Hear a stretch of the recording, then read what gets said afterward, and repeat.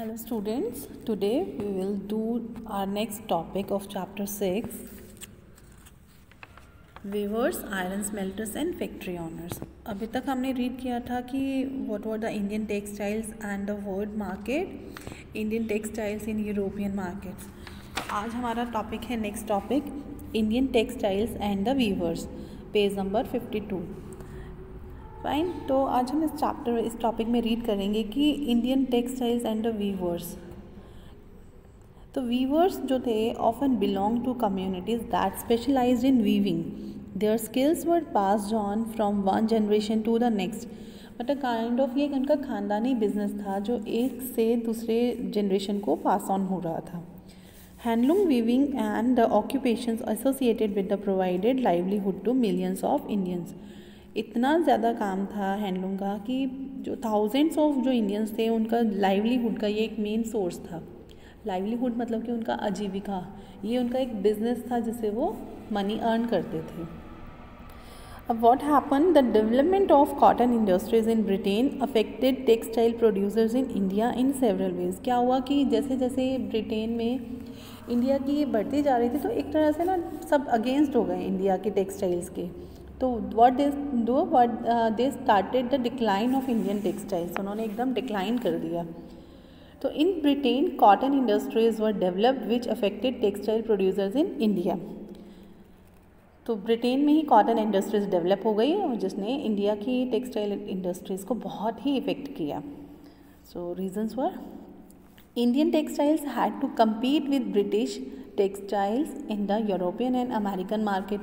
अब इंडिया की जो टेक्सटाइल्स थी, उसका कंपटीशन हो गया direct with British and European American markets के साथ। ब्रिटिश टेक्सटाइल्स के साथ उनका यूरोप यूरोप और अमेरिका की मार्केट में एकदम कंपटीशन आ गया। Exporting textiles to England also became increasingly difficult since very high duties were impose on India textiles important from imported in Britain जो ब्रिटेन में इम्पोर्ट किया जा रहा था, उसके ऊपर बहुत ही ज़्यादा custom duties tax and all आप समझते हो ना? तो बहुत हैवी टैक्स लगाया जाने लगा, जिससे उतनी इनकम नहीं थी कि उनको बहुत लॉस के कगार पर आ गए थे। In Africa, America and Europe Indian goods traditional market was आउटस्टर्ड by English made cotton textiles English and European companies stop buying Indian goods and distress weavers wrote petitions to the government to help them अब क्या हुआ? European companies ने India के जो goods थे उनको ख़रीदना बंद कर दिया बिल्कुल। और जो वीवर्स थे वो एकदम डिस्ट्रेस हो गए तो उन्होंने गवर्नमेंट को कुछ लेटर्स भी लिखे कि हमारी हेल्प की जाए। By the eighteen thirties British cotton cloth flooded Indian market which affected specialist weavers and spinners in India handloom weaving continued as some types of cloths could not be supplied by machines Sholapur in western India and Madura in South India emerged as important new centers of weaving in the late 19th century. जो Mahatma Gandhi during the national movement urged people to boycott imported textiles and use handspun and hand woven cloth Gandhi ji ने ना एक उस time पर movement चलाया फिर nineteen century late nineteen century में, कि बाईकाट करो जितना भी इम्पोर्टेड टेक्सटाइल्स है बाइकट यानी कि एकदम हम उसको बंद कर देते हैं यूज़ करना। विदेशी छोड़ो, स्वदेशी अपनाओ उन्होंने इस तरह से किया। कि जो भी हैंड्स बन हाथों से बुना हुआ धागा है, उससे बने कपड़े हैं, उसको यूज़ करो। तो khadi became a symbol of nationalism and the charkha represented India तो कहते हैं गांधी जी ने ना खुद चरखे पर खादी बुनी थी, बुनाई की थी तो उसके बाद चरखा जो था, वो हमारा नेशनलिज्म का एक सिंबल बन गया। और खा जो खादी थी, वो भी सब लोग प्रेफर करने लगे खादी के कपड़ों को।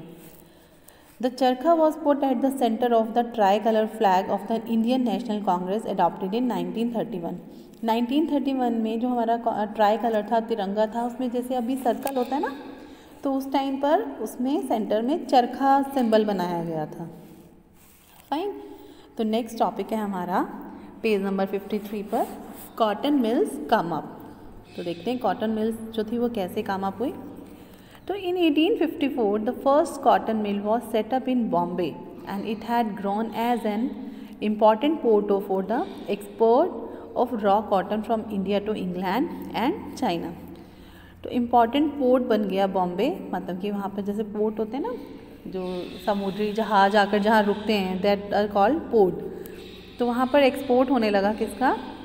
Raw cotton from India India से रॉ कॉटन लेते थे और इंग्लैंड और चाइना में भेज देते थे। In Bombay over 84 mills were established by Parsi and Gujarati businessman by 1900 mills started developing in cities and the first mill in Ahmedabad was started in 1861 growth of cotton mills demanded labour अब जो cotton mills बढ़ रही हैं तो labour भी चाहिए, लोग भी चाहिए।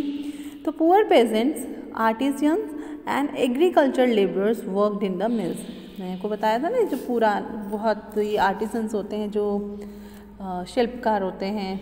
तो ये जो बेचारे गरीब लोग थे गरीब किसान थे एग्रीकल्चर लेबरर्स थे तो इनको वहाँ पर काम मिल गया, इन्होंने वहाँ काम किया। Textile factory industries in India face problem such as difficulty competing with the cheap textiles imported from Britain In most countries, the government supported industrialization by imposing heavy duties on imports which eliminated competition and protect infant industries.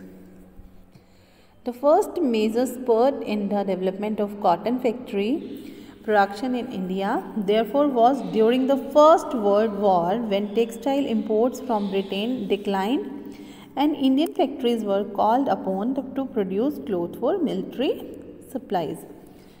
तो cotton factory का development कैसे start हुआ? During first world war जो था textile को decline कर दिया कि ब्रिटेन से नहीं आएगा। इंडियन की फैक्ट्रीज इंडिया की फैक्ट्रीज़ को ही बुलाया गया या उनको ये काम सौंपा गया कि वो मिलिट्री की भी सारी प्रोडक्शन सारी रिक्वायरमेंट कंप्लीट करेंगे। फाइन तो नेक्स्ट टॉपिक हम करेंगे on page number fifty four